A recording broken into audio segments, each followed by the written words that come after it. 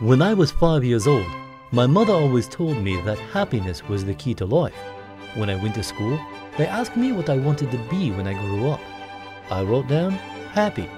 They told me I didn't understand the assignment, and I told them they didn't understand life. Trying to please everybody is impossible. If you did that, you'd end up in the middle with nobody liking you. You've just got to make the decision about what you think is your best and do it. If everyone demanded peace instead of another television set, then there'd be peace.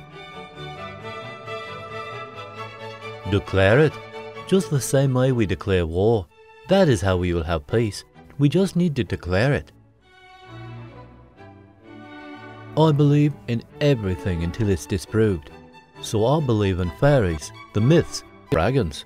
It all exists even if it's in your mind. Who's to say that dreams and nightmares aren't as real as the here and now? If we cannot love ourselves, we cannot fully open to our ability to love others or our potential to create. It matters not who you love, where you love, why you love, when you love, or how you love. It matters only that you love. We live in a world where we have to hide to make love, while violence is practiced in broad daylight.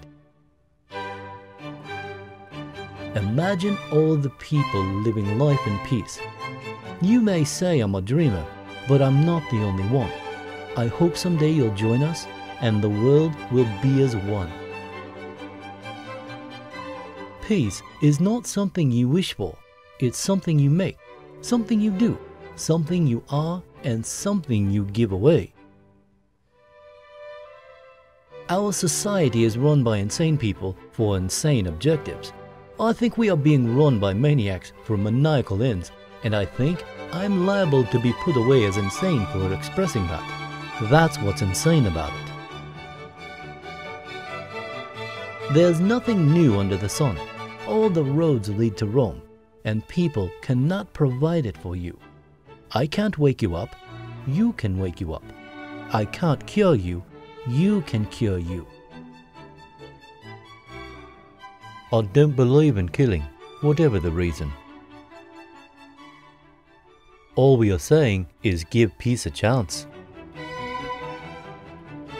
If you want peace, you won't get it with violence. Everything will be okay in the end. If it's not okay, it's not the end. There are two basic motivating forces, fear and love. When we are afraid, we pull back from life. When we are in love, we open to all that life has to offer with passion, excitement, and acceptance.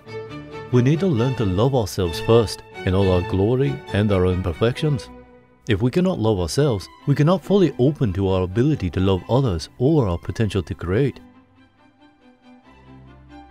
Being honest may not get you a lot of friends, but it'll always get you the right ones. Love, love, love. All you need is love. Love is all you need.